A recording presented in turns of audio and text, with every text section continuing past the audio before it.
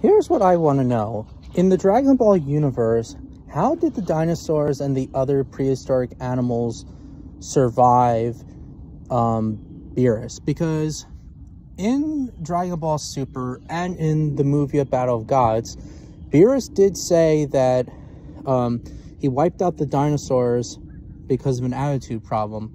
But if we go back all the way to Dragon Ball Z and even Dragon Ball, dinosaurs are still there. Even other prehistoric animals like saber-tooths and and other weird animals. Now, according to Akira Toriyama, he didn't say that, but I did talk to Derek Padula.